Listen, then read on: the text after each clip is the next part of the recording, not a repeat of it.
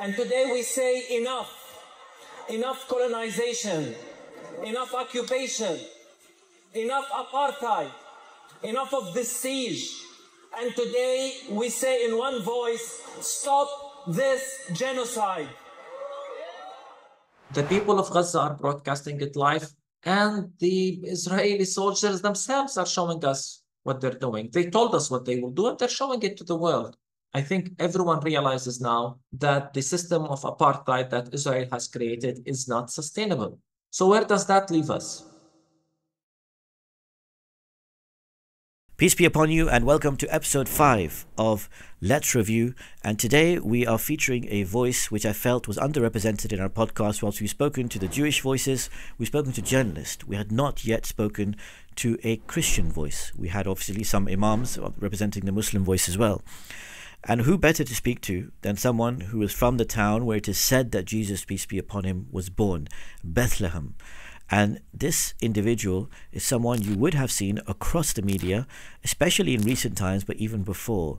He represents, as a pastor and reverend, the Christmas Evangelical Lutheran Church. He's also a director of uh, Christ at the Checkpoint Conference, and he teaches at the Bethlehem Bible College, a very renowned and well known pastor who we are, who's joining us today. And I'm very delighted to join us today Dr. Munther Ishaq. Dr. Munther Ishaq, peace be upon you, and thank you so much for giving us time in your busy schedule to join us today.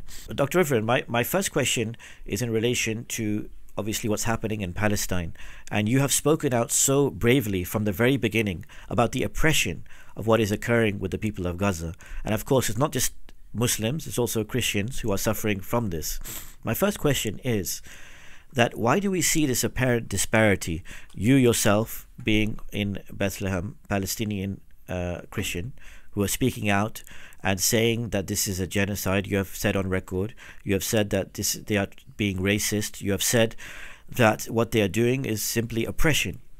There are people also in other countries who are evangelical Christians or Christian Zionists who are saying the complete opposite they are saying that what's happening is actually the right of the Israelis to defend themselves. They are quoting biblical literature to say that what is their right to be in this land and to defend themselves. So how could it be that you you're both following the same Bible, you're both Christians, but there's such a huge dis- different disparity? Can you explain this for the sake of the viewers who may not be uh, familiar with this? Yeah, um, if it only was a matter of what holy texts say, uh, because we all know that many times we bring our own background interpretation and worldview into the text and maybe even make the text say uh, what it wants. Uh, I bring the perspective of living on the ground. I'm a Palestinian. I'm a Palestinian Christian. Uh, this is my land. This is my history. Uh, I lived through the different periods. Uh, I lived through the first and second intifadas. I'm, I'm experiencing this war right now firsthand, maybe not in Gaza, but here in the West Bank. Uh, and uh, to us, we look at this as a matter of, uh, you know, not we don't interpret from distance, but we talk about issues from our lens relating to justice, uh, relating to facts on the ground. Uh, and many times, many Christians who hold different views and come and visit us, they actually have no idea what's happening. And they tell us if we only knew, uh, because they just assume things and read things through their own lens between how uh, the Western world views us uh, and views the Orient in general, uh, many times with condescension, with superiority. And we forget that at the end of the day, many of those evangelical Christians come from the uh, United States, which have strong economic and political ties with Israel. And Israel serves the uh, interest of the United States. If it only were a matter of what the Bible says, I don't think we'll have a problem because it's deeper than that. It's it's a political imperial relationship, and at the same time, uh, I truly believe that racism is involved. The only way to interpret not just the silence and complicity, but the support of some Christians uh, and I'm being very general because there are many Christians who actually stand with Palestinians, stand with justice, stand with peace. Uh, but the support uh, to this genocide convinced me and many others that many in the Western world do not look at us as equals, whether the governments or in some French cases, church leaders. Uh, how else do you continue to justify and rationalize and explain and defend the killing of 13,000 children? And the total number is 30,000 Palestinians, not counting those under uh, uh, under the rubble. Uh, now, Doctor, it's that, yeah. Sorry, please go ahead. I was going to ask you. You mentioned this a few times about. I've seen some of your lectures where you said maybe because we are not white or because maybe we are of a different color. This war has confirmed to us that the world does not see us as equal. Maybe it's the color of our skins. Uh, what exactly do you mean by this? Are you saying that if you were, and this goes into the depiction of Jesus, peace be upon him, in other places, blue-eyed and etc. But uh, uh, what what do you mean by this exactly? Uh, that you you uh, it's it's uh, it's a type of racism. How do you how do you prove this?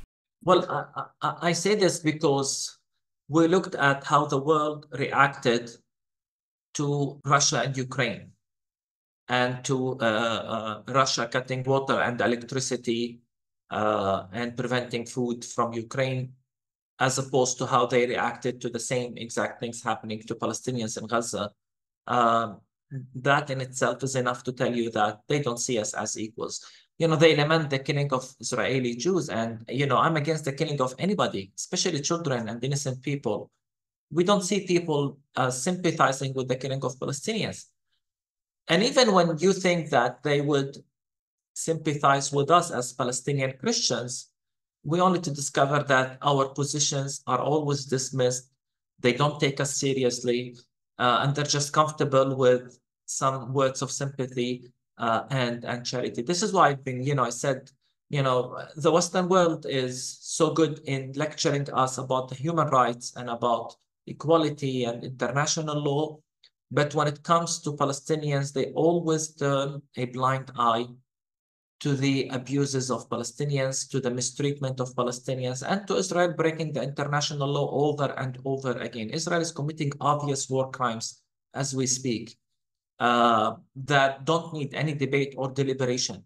Uh, yet the world continues to turn a blind eye. United States, you know, veto the uh, resolutions for ceasefire saying, you know, we must reach better conclusions, better understandings, and so on. Meanwhile, Palestinians are being massacred on a daily basis. Um, so for the sake of being diplomatically right or saying the right things and defending their interests, they are sacrificing Palestinians uh, and Palestinian Christians because we are uh, uh, among the main victims of uh, the occupation of Palestine and the colonization of our land uh, the Christian presence right now is in serious danger of disappearing uh, because, and you know, since the creation of the state of Israel. What, what do you mean by this, that the Christian population, because uh, it's in serious decline? In, in what sense do you mean, uh, Reverend? So at the beginning of the 20th century, we were almost 12% of the population.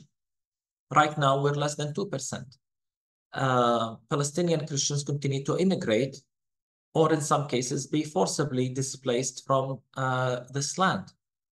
Uh, let us not forget that when Israel was created, it was created on uh, the ruins and towns of almost 500 Palestinian towns and villages. Some of them are, uh, uh, you know, uh, Christian villages and towns. tens of thousands of Palestinian Christians became refugees in 1948 and are still denied the right to return to their homeland uh, many Palestinian, like many Palestinian Christians, like many Palestinians, uh, are still denied the right to come and live in their land because when Israel became the occupying power, whether in 1967 in the West Bank and Gaza, uh, or even when Israel was created in 1948, if you were physically outside of the land, you lost your right to return and live in your land. So Israel has created the system uh, in which there is definitely uh, privileges to any Jewish person around the world over against the indigenous people of the land, including the Palestinian Christians. And Israeli policies on the ground make life very, very difficult here. Uh, and we're seeing one family after the other opt to leave, immigrate, and seek a better future for their children. Uh, and uh, this is why right now our numbers are uh, uh, very small, very little in the in the country. In, in, the, in the place where it all started. I mean, you, you would think the Western world will be eager to prevent that, uh, but they're not. They're not. And uh, they know that, and we, we always say, there is no Christian solution. In other words, you, you, you can't solve the conflict for Christians. You can't create something, uh, a, a reality in which Christians will stay. Uh, what you have to do is solve the conflict, is end the occupation, is end the system of apartheid. That only then we are able to stay and and, and survive and thrive in this land.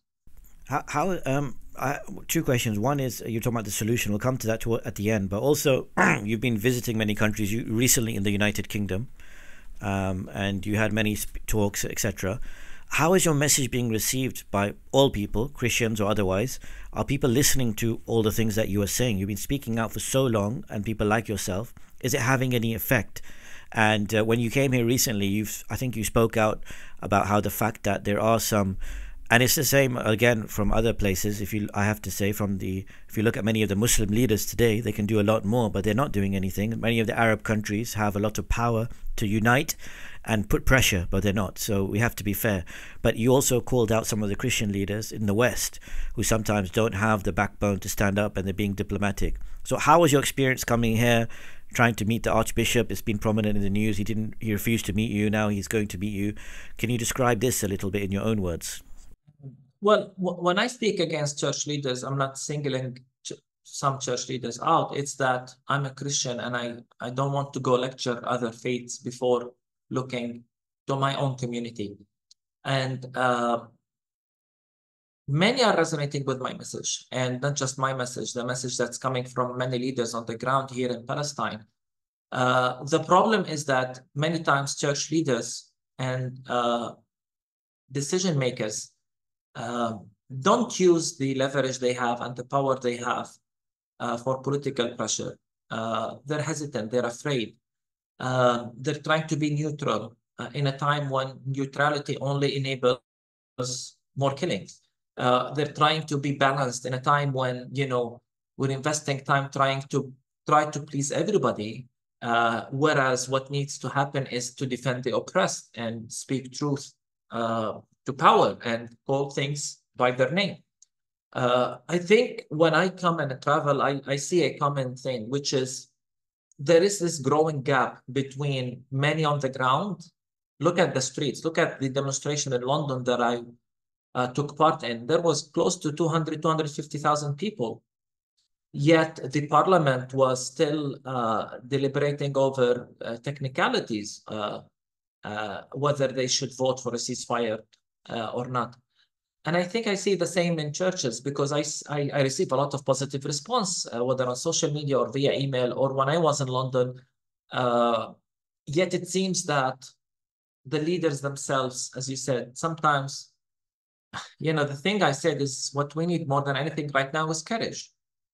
Uh, it's not as if we need to expose reality on the ground, as if, you know, nobody will be really shocked uh, after the genocide is over. Uh, I think if if we will be shocked, we will be shocked by the magnitude. But we already know it's hell on earth. We already know that tens of thousands have been killed. We already know that there are thousands under the rubble. We already know that 85% of uh, Gaza people have been displaced. We already know that at least 60% of the infrastructure is destroyed. The people of Gaza are broadcasting it live and the Israeli soldiers themselves are showing us what they're doing. They told us what they will do, and they're showing it to the world. So it's not a matter if we only knew, but it's a matter of having the courage to say, no, enough, we will not allow this, and to put pressure on uh, politicians uh, to speak out. Um, at the end of the day, you know, it, it's painful to admit, but politics is what politics lacks today is, is morality and integrity. What do you think, uh, Dr. Munther? Like sometimes in any, from any, it doesn't matter what the faith is, but when you, if you're giving your message, some people almost feel like they're paralyzed to express their opinion or support the Palestinians. Why do you feel this is the case amongst so many people, especially in the West, where when you, like you said, apparently it should be very obvious. There's facts and figures are out there. There should not be a. I, I've heard you say many times there should not be a debate or deliberation, but there is a debate and deliberation. There is people saying very passionately, and somehow they believe it, that actually it's a right of self-defense. Actually, what's happening is fine. Actually, what's happening is according to religious scriptures of any type. It could be Jewish scripture or Christian scripture or whatever it might be. Why do you feel people have that almost sense of being paralyzed to express the truth when it's seemingly obvious, as you're saying? Um, paralyzed gives the impression that it's beyond their power. I think many times they choose not to speak the truth. Uh, we have to be honest and we have to challenge them because uh, they choose to stay comfortable in some cases. Uh, they choose comfort uh, because they don't want to get into controversial issues. Uh, in the West, they are still paralyzed by uh, guilt from their history of anti-Semitism. And I understand that, but that doesn't, you know, you don't deal with anti-Semitism by supporting Zionism, which has become an, you know, a system of apartheid, of exclusivity. It's, it's beyond my belief how the West uh, dealt with their problem of anti-Semitism by supporting Zionism. Uh, and then many times it's a decision they make because of political interest, because of, you know, uh, this whole, you know, this whole Judeo-Christian tradition or, uh, you know, uh, American nationalism that's so much uh, embedded in it is support to Israel, you know, they choose to say Israel is always right. Uh, and that's why I continue saying, don't convince me it's not racism, because they continue to insist Israel is right, even if it means killing more Palestinians, and they continue to defend it and find excuses and justifications, uh, like the whole idea of a self-defense. And the whole world bought into it. You know, the media bought into it, you know, self-defense, the whole, you know, I can't understand how uh, uh, not just the occupier, but the colonizer is defending itself from the colonized, you know, but the whole world bought into it. Uh, and they they promoted this and believed in this uh, side of the story, they, this, uh, this Zionist narrative. Uh, so it's multi, multiple factors. And and you know, from the point of view of uh, where do we go from here? You mentioned that there's certain solutions. We have you said we have to end the apartheid uh, rule. We have to find a solution. But what is a solution? Because you know, like you said, we thought that maybe a ceasefire would be possible. We thought that people are now starting to speak out a bit more than before compared to at the beginning. You're seeing more and more voices of people who weren't initially speaking out, but for whatever reason, they're speaking out more. Sometimes it's because their own country people are speaking out and they don't want to lose their vote. So, whatever their motive might be, yet the actions are getting worse in terms of how Israel are attacking Gaza. All this pressure, seeming pressure, uh, which is building, it doesn't seem to be having any effect on the actions of the Israelis who believe that. You know, I was speaking to Gideon Levy, uh, who is in Israel, and he said in their mind they are doing God's work, they are God's people, and they don't see the images in the same way. It's not pumped in the same way in Israel, uh, or it's not presented in the same way. So for them, they have a siege mentality. The more people are doing it, the more they feel they have the the the reason to stand up for their truth. So what's the solution in, in the face of this?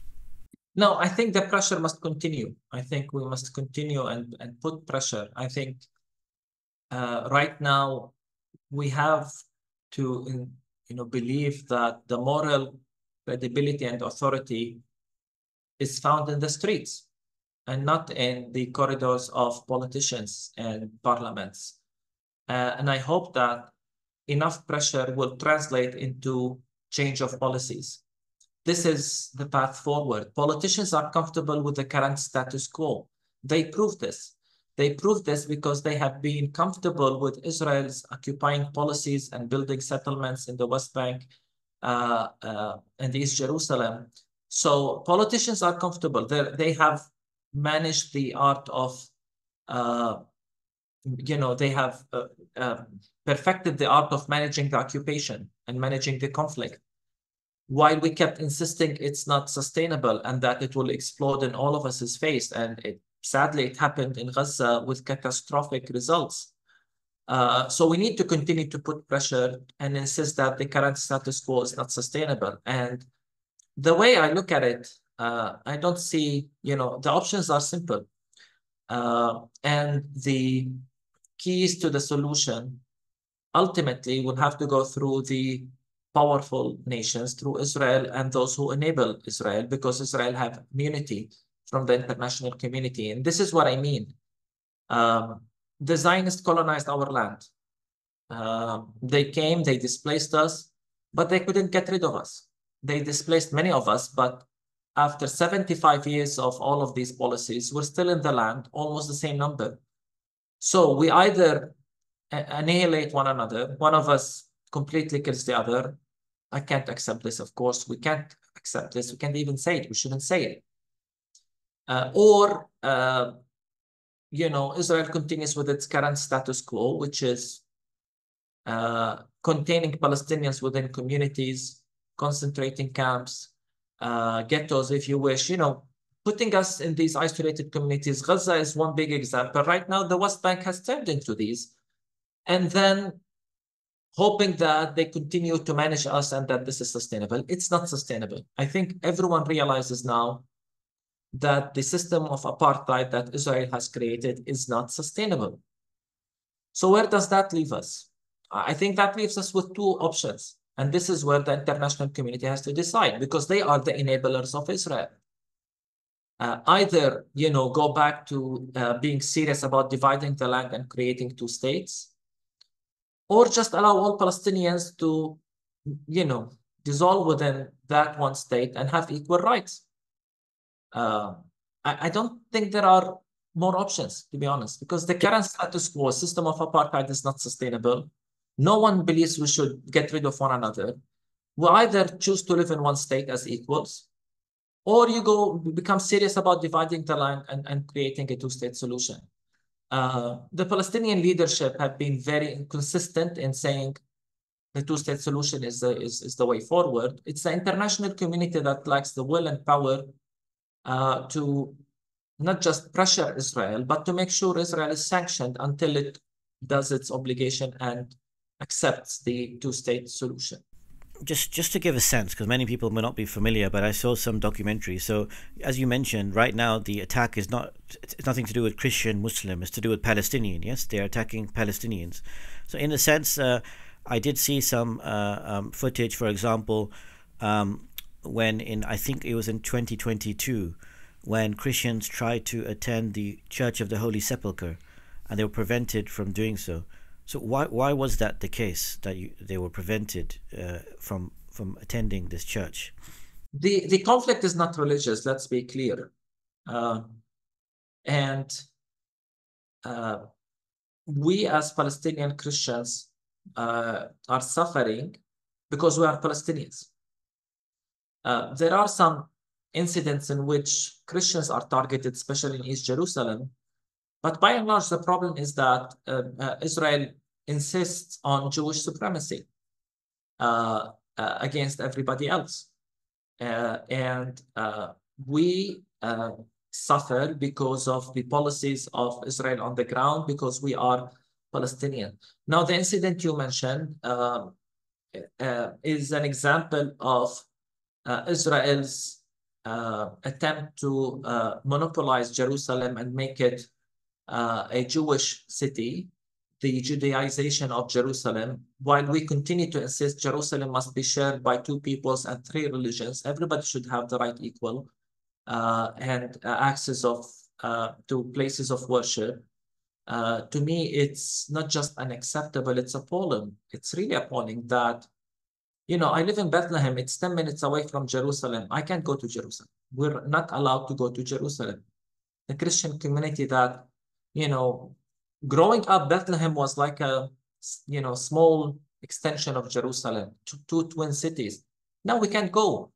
And even when we try, you know, in, in holidays during Christmas or Easter, when we have, when Israeli military gives permit to some Palestinians to go to Jerusalem, uh, and those Palestinian Christians who live in East Jerusalem, even when we try to go to the Church of the Holy Sepulchre uh, in Sabt Nur, the Holy Saturday, Holy Fire Saturday, uh, Israel tries to control the number of Palestinian worshippers who go there.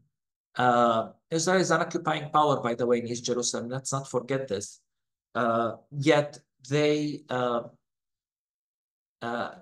try to control the number of worshippers.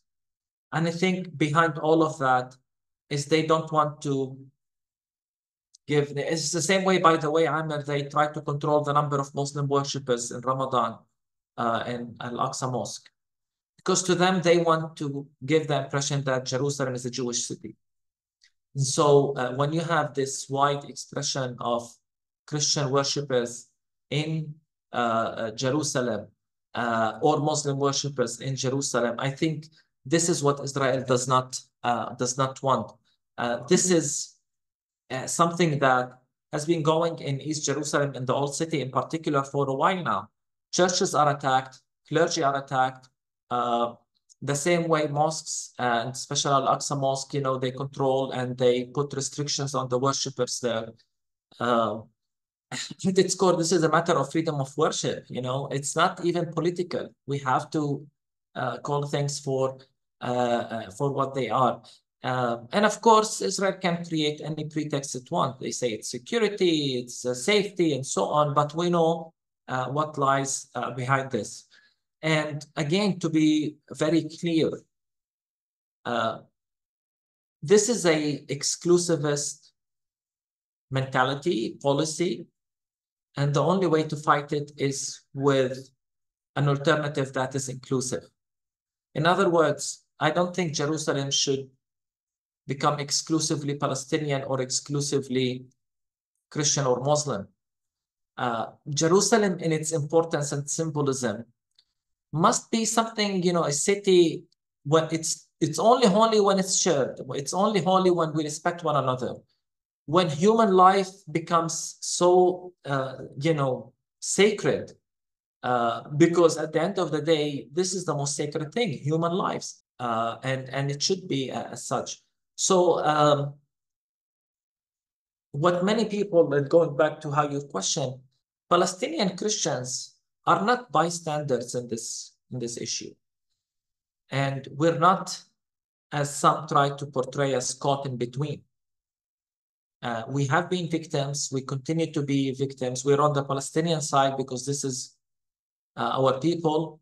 And uh, more importantly, as I said, uh, we suffer from occupation and apartheid just like all, all Palestinians. And we suffer from these exclusive ideologies and practices of Israel like all Palestinians do.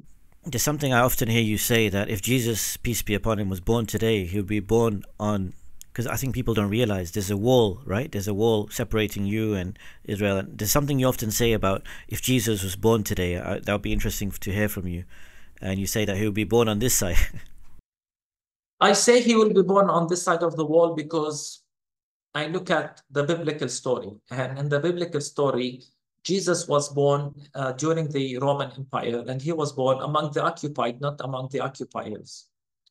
Uh, and uh, he, uh, as a child, and the Holy Family suffered from and had to go and endure and survive a genocide of children or a massacre of children, the children of Bethlehem.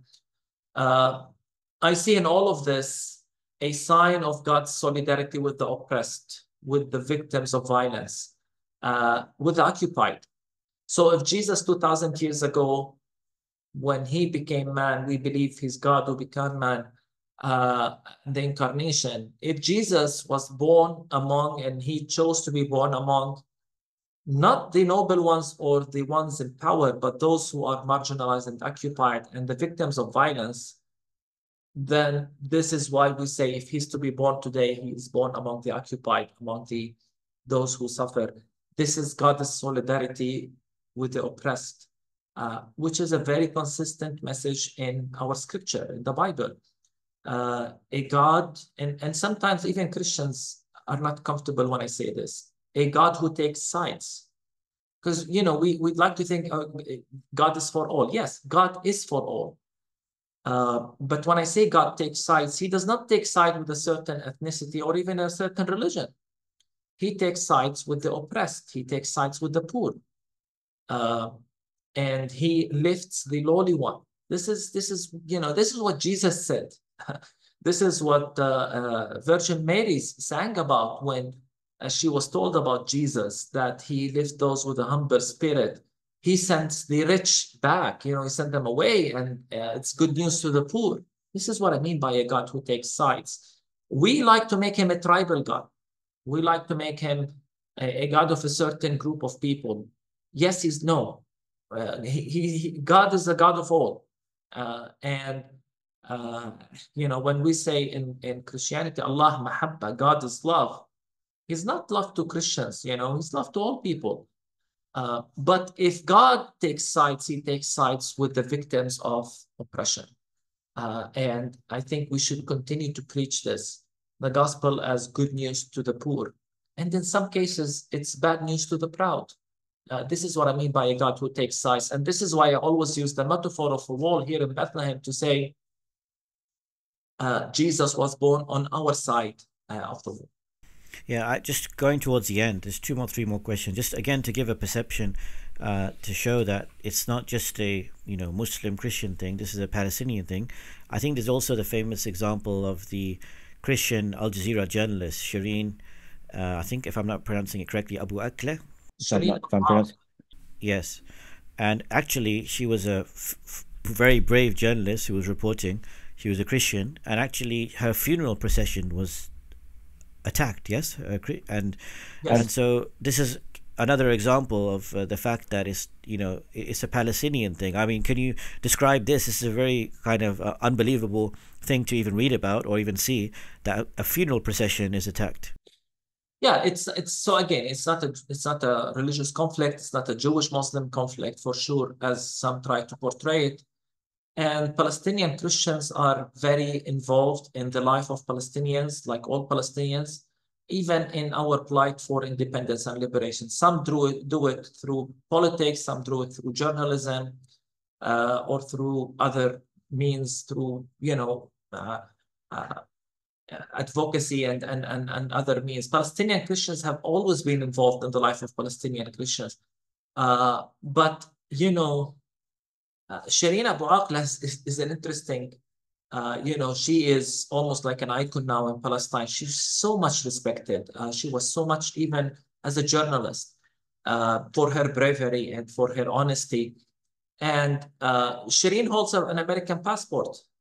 And then you would think that America would, you know, hold those who killed, assassinated a Palestinian journalist, an American journalist accountable, but even then did it happen? And then when in front of the whole world, you know, uh, Palestinians insisted, and it's not just Palestinians and Palestinian uh, Christians, you know, because it was Muslims and Christians in that funeral, because Shireen was a symbol to all Palestinians. Uh, they insisted on, out of respect to her, to carry her coffin and to carry her uh, body throughout the state of Jerusalem. And the Israeli military, this is the last thing they wanted because they didn't want this big crowd of Palestinians with her coffin with a Palestinian flag in the middle of, uh, of Jerusalem, which ultimately happened, especially from the procession from the church to the tomb. I think you've, you've, seen, you've seen the images. Uh, and so when they tried to carry her coffin from the uh, hospital, which is a Christian hospital, again, uh, soldiers getting into the hospital. I mean, these are all things that are against the law. I mean, how is the world? And it was filmed for everyone to see. And then the people who are carrying her coffin were attacked. Uh, and there was, I mean, bless her memory and soul, there was so much symbolism in, in what happened because you've had Palestinian Christians and Muslims carrying her coffin, being beaten but refusing to fall. And I saw in that, you know, a symbol of the strength of, you know, Palestinians we are beaten, but we don't fall, uh, of our unity, the strength of our women uh, as, a, as, as a people, as Palestinian people, uh, and also uh, the important role of Palestinian Christians uh, for the whole uh, Palestinian community. And for a few hours, uh, a Palestinian woman was able to liberate Jerusalem because of the size of the funeral. And ultimately, the Israeli soldiers could not do anything uh, with the big number of Palestinians who marched from the church uh, to the graveyard. Um, so it, it is yet one more reminder that uh, Palestinians are united and that, you know, again, we need to, Amir, to ask whose interest is it uh, to continue to promote this as a religious conflict between Jews and Muslims? Uh, and I think it serves a certain agenda. Look at how this war uh, is talked about in some circles. Definitely the Israelis, but in many uh, other circles, has a, a battle between good and evil, the civilized and the uncivilized. Uh, so when I say racism and superiority, right now the big target is Arabs and Muslims.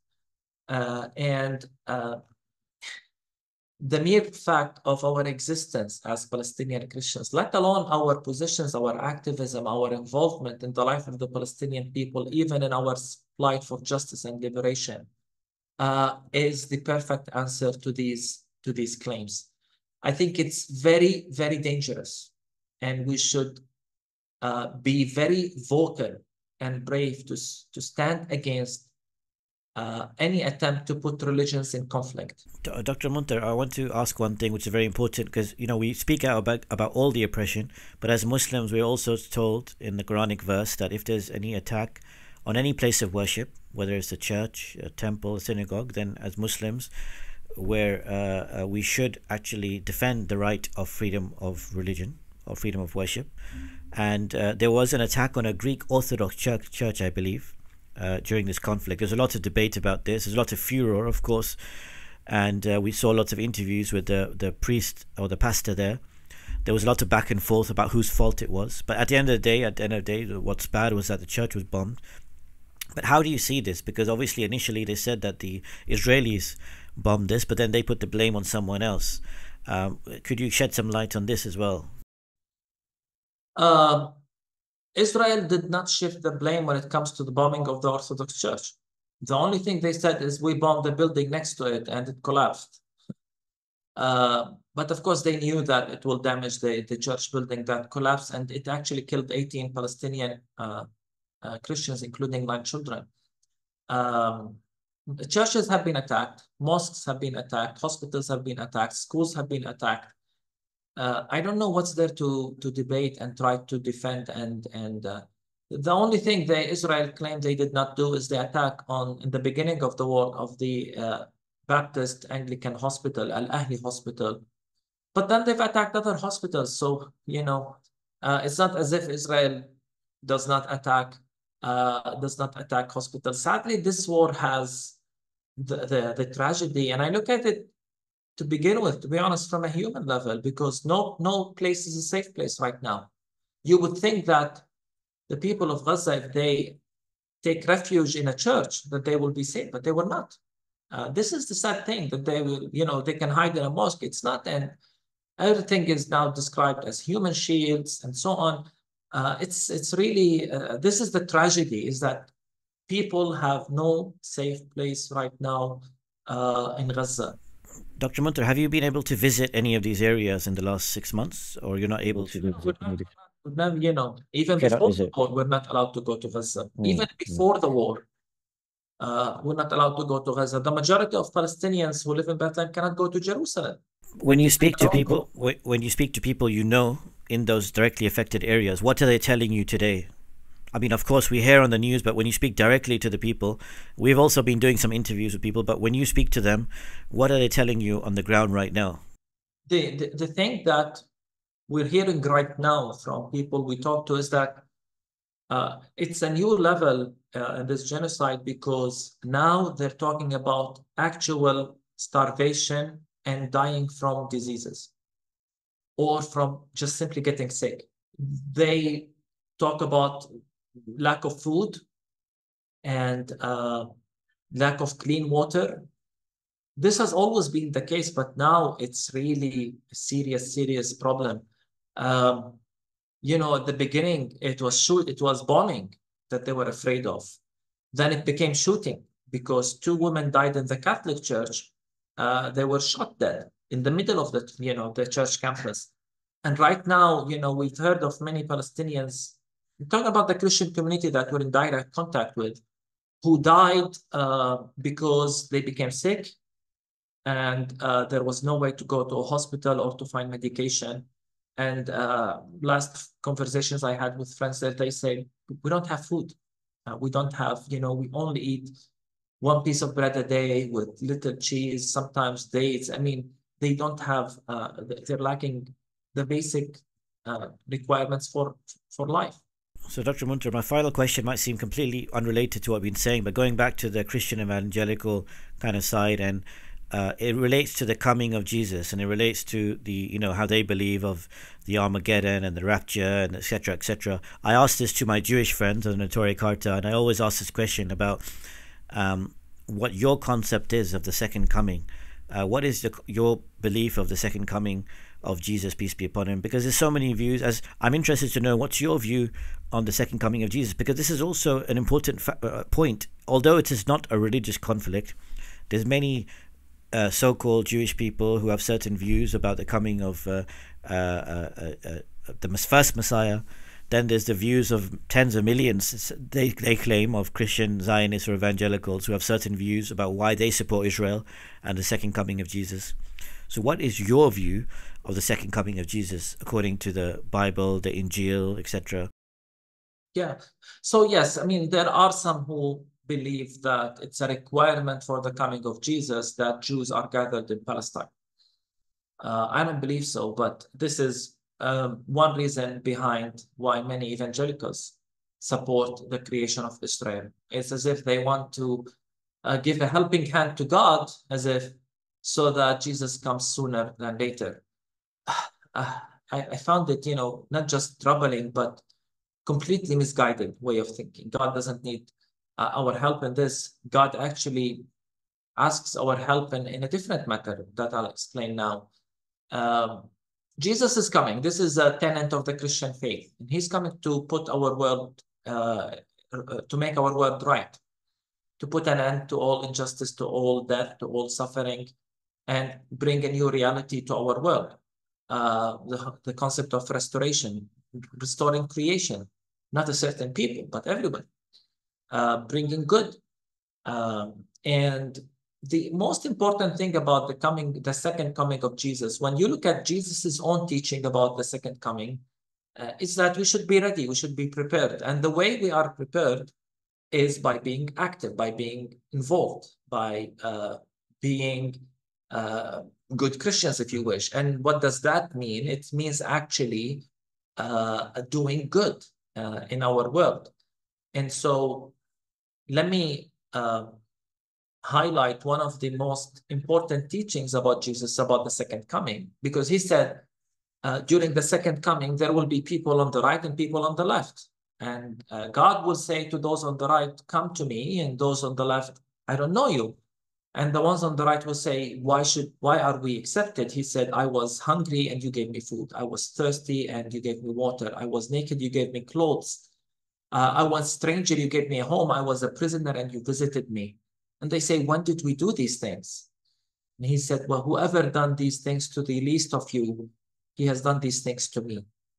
Uh, imagine, Amir, if this is the teaching we all emphasize when it comes to the judgment day, that we will be judged by God based on how we uh, relate and treat the vulnerable among us, on how much good we do in our world. Imagine if people of different faiths compete among themselves as to who does this more, feeding the poor, uh, providing shelter to the refugee, uh, uh, you know, helping those who are suffering from oppression, bringing justice. Um, this is what should we we should focus on when it comes to the second coming and being ready. And in fact, Jesus reminds us, whoever has done these things, you have done them to me. Uh, I mean, what honor uh, Jesus gives to the marginalized by telling people, you should see me in every victim of marginalization and, uh, and oppression. So yes, I believe Jesus is coming, but what's more important is, are we ready? And how do we get ready? Uh, we get ready by doing precisely that. Uh, and I hope we all get involved uh, in this. No, Dr. Munther, it's been amazing discussing with you. And as I said, uh, it seems strange to say this. I loved the podcast discussion, but I also loved our discussion 20 minutes before the podcast, which was not recorded. And we exchanged our views, and you asked about the Ahmadiyya community. And I mentioned about our view of the second coming, which is we believe it's a metaphorical second coming of Jesus. Most Muslims believe he'll come physically, but we believe he died naturally and he has come again. But that's a case for another episode. But um, I, I'm so uh, delighted that you made time to join us today and give a very important voice, which we hadn't represented, which was the Christian voice, and particularly from Bethlehem, which is said to be the birthplace of Jesus, peace be upon him, and as a Palestinian, because often you're speaking as a Palestinian as well, of course, and you have a joint struggle uh, there. It's a very dire situation. Many people are suffering. We sometimes, uh, in our everyday lives here in the West, we can easily forget that. And that's why it's very important to keep having voices from Palestine to remind us of this suffering, of the situation, so we can pray for them, so we can help them as well. Um, Dr. Munther, what kind of message of hope do you leave our, you know, if you had one message to to end with for the viewers or for people listening, what message of hope or message of any type do you do you end with?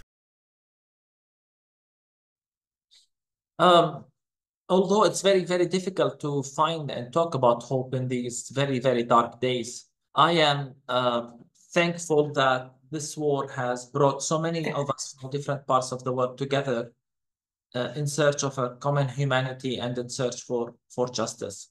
I have hope in God. I believe in, in a good and just God. And I believe that ultimately goodness will prevail uh, in Christianity, the belief in the resurrection is, is, is very foundational, that Jesus was risen after being crucified. And in that, there is a message that ultimately life overcomes death, ultimately justice overcomes tyranny. And this hope becomes our mandate. So, what hope uh, do we have when people ask me? Uh, you know, hope is uh, what we create in our world when we work together to make our world a better place. I think God has done his part. He has shown us the way. Uh, Jesus has shown us the way. Uh, and I think uh, ultimately it has to do with, with us. If we believe in a good and just God, then let's get busy uh, doing the work of God. Uh, it sounds dark, it sounds difficult, but we cannot give in, we cannot give up, we cannot stop and especially especially in times uh, like this. I think uh, when people look back at this dark period, one of the questions they will ask is, where were the good people? Uh, I would say, where was the church? You know, where was the believers in God from different traditions who don't accept the killing and, and the way of tyranny and death and, and violence? This is the question we should ask, and I hope that we can work from different traditions to uh, uh, bring justice into our world. Dr. Munther, um, I would like to also say if you ever come to England again, I would love to host you and show you more of the Ahmadiyya Muslim community. We have the largest mosque here in Western Europe and the first mosque in London ever built. And uh, so I would love if you ever have any time to come and join us as well. It will be my pleasure. Thank you for the invitation, of course. Of course. Uh, Dr. Munther Ishaq, uh, it's uh, it's been a real pleasure. Thank you so much for giving us this insight, and and until next time, peace be upon you. Thank you. Alaikum assalam. Assalamu Make sure to like, comment below, and subscribe to our YouTube channel and other channels for the latest content.